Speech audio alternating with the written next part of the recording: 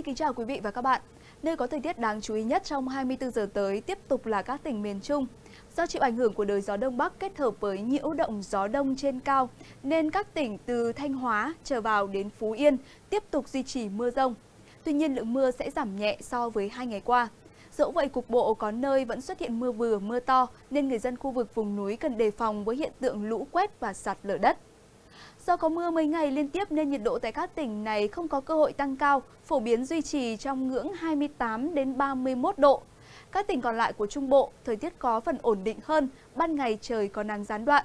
Vì vậy nhiệt độ cao hơn khoảng từ 1 đến 2 độ so với các tỉnh phía Bắc. Mưa rông vẫn xuất hiện cục bộ trong ngày, tuy nhiên lượng không nhiều.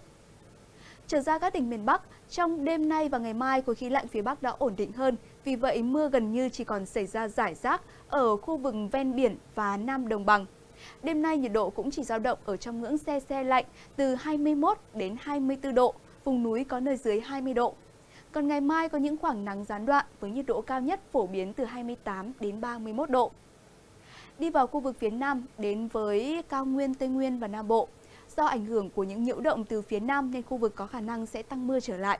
Tuy nhiên lượng mưa khá chỉ tập trung nhiều ở khu vực các tỉnh ven biển miền Tây như là Cà Mau, Bạc Liêu, Sóc Trăng, Bến Tre. Dự báo nhiệt độ tại đây ít có sự thay đổi, cao nhất ngày mai phổ biến là từ 29 đến 32 độ tại khu vực Tây Nguyên và từ 30 đến 33 độ tại Nam Bộ. Chuyển sang những thông tin thời tiết trên biển, Do ảnh hưởng của không khí lạnh và nhiễu động gió đông nên trong 24 giờ tới, khu vực Bắc Biển Đông, bao gồm quần đảo Hoàng Sa có mưa rào và rông nhiều nơi. Cường độ gió Đông Bắc hoạt động mạnh ở mức cấp 5, có lúc cấp 6, giật cấp 7, biển động. Tầm nhìn xa giảm xuống từ 4 đến 10 km trong mưa, không thuận lợi cho các hoạt động lưu thông của tàu thuyền. Vùng giữa và Nam Biển Đông bao gồm quần đảo Trường Sa có mưa rào và rông rải rác, gió Đông Bắc yếu hơn, chủ yếu ở mức cấp 5. Đến đây chúng tôi xin kết thúc bản tin chung ngày hôm nay.